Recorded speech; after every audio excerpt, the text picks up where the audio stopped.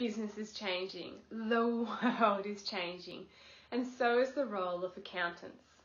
Hi, my name is Hacia Atherton, CPA, and I wanted to welcome you into a new era of business where accountants have more opportunity than ever before.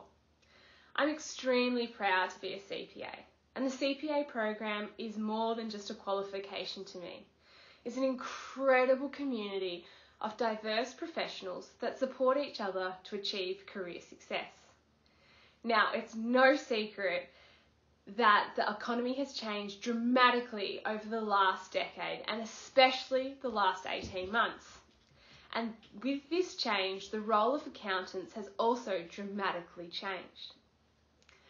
I am committed to working with CPA Australia and fellow members to have the CPA at the forefront redefining what a career in accounting looks like today, thus attracting a diverse demographic of members and innovating our industry.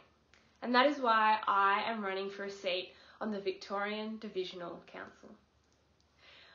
I look forward to hopefully working with CPA Australia and fellow members to redefine how accountants are seen in today's modern world of business.